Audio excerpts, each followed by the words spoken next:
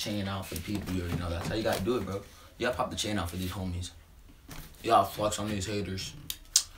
But anyways, guys, back to the video.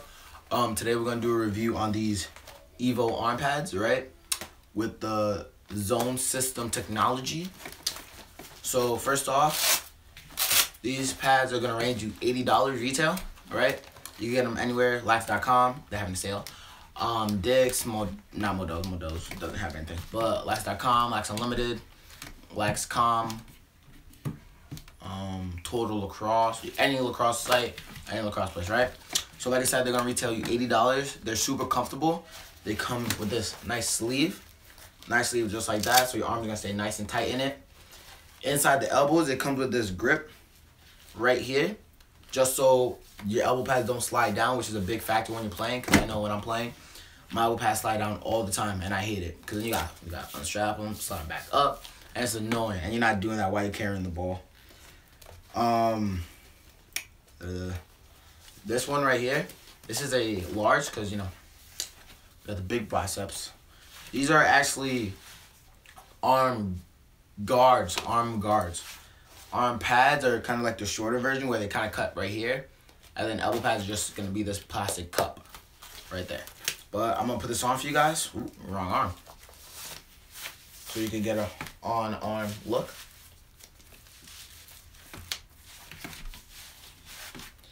Me personally, I like to use arm pads because I do play attack, but I don't like the weight and I want to feel more freedom.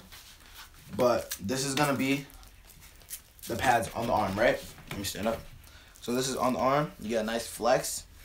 These are actually super comfortable, guys. I'm not kidding you. You get all the flexibility you need. Extend all the way. Flex all the way. You get that nice protection from them checks from them big defenders. From them big defenders, you're not to feel a thing, guys. I actually, I actually really like these. Wow. This is like my second time trying these on. I have the I have the smaller versions. They're just dirty right now, so I'm not gonna pull them out on the video because they're like smelly and dirty from the season, of course. But these are the white ones. I never got to use. I want to use them so bad, but I don't know. And then I'm gonna sell them. But yeah, guys. So as you can see right here, it has a it's a three piece design. It's super flexible. They got this plastic end cap. It, they use um Warrior. They use these um 3D foam, 3D foam. I don't know why I said it. It's 3D foam where like once you hit it, it locks on contact and the foam gets it hardens. But when there's no contact, it's very soft and pliable. As you can see here, let me get a look nice close up. You can see me pushing into it, just like that. But when you chop it, it's gonna be super. Um, it's stiff, where like you're not gonna feel the pain.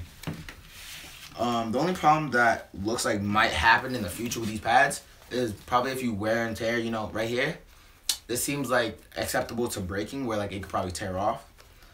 And that's probably, oh, right here as well. Because it did happen to my, my short ones.